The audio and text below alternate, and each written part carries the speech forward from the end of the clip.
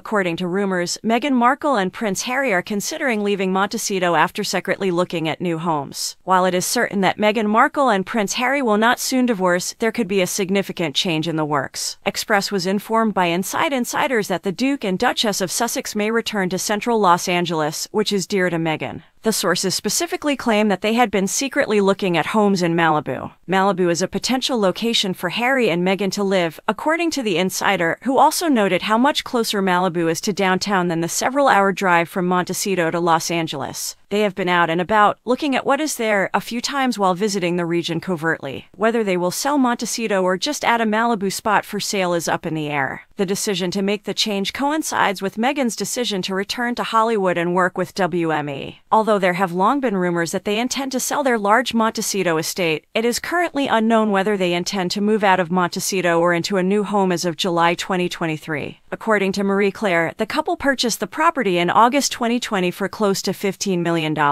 It may appear that these royals are searching for a housing shakeup given reports that Princess Eugenie, Harry's closest cousin, has been prowling the California real estate market. We all believe we know the real story behind Prince Harry and Meghan Markle based on news reports and word of mouth. But one book goes much farther, telling tales about the pair we only thought we knew, to the delight of long-standing royal admirers. Getting Free, the book Harry and Meghan tells the story of the couple's courtship, wedding, first child's birth, and choice to step aside from royal responsibilities. Beyond the idyllic moments, authors Omid Scobie and Carolyn Durand show us the difficult choices this couple had to make in order to keep their marriage and happiness. Longtime royal admirers may learn more about Harry and Meghan's new route outside the royal family through this book.